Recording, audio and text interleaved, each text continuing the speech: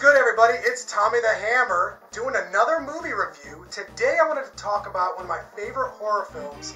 It's called Horror Hotel, and it's also known by the uh, title City of the Dead.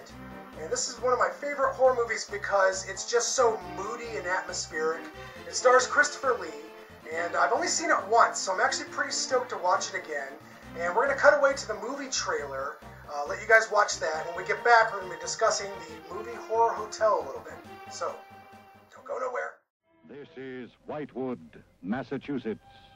A young girl, a stranger, has come to Whitewood to do research. She has come, she thinks, to study. Leave Whitewood. Leave Whitewood tonight. I beg of you. What power? Leave before it is too late. In spite of this warning, the girl lingers on.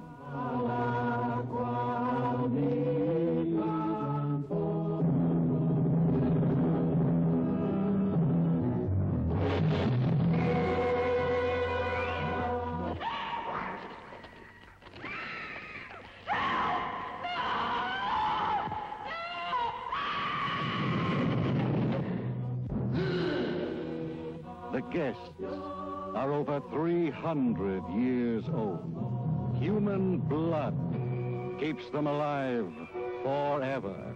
Barlow.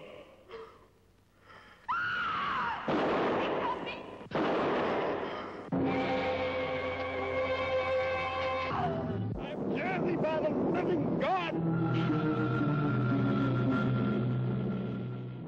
The thing I like about Horror Hotel the most is the overall movie has a timeless quality to it. Uh, it's very moody, very atmospheric, and it really just takes the audience into another world and you kind of relate to the main characters.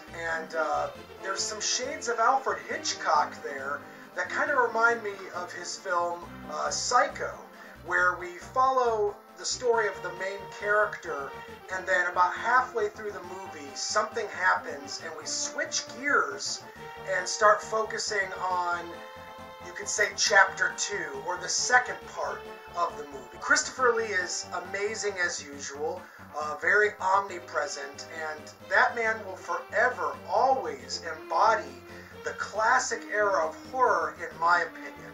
It's not a perfect movie, and it's not my favorite horror film ever made, especially from that era, but it's a damn fine one. And if you've never seen it, then you owe it to yourself to give it a peep, because it's that good, guys, and that prolific. Check it out.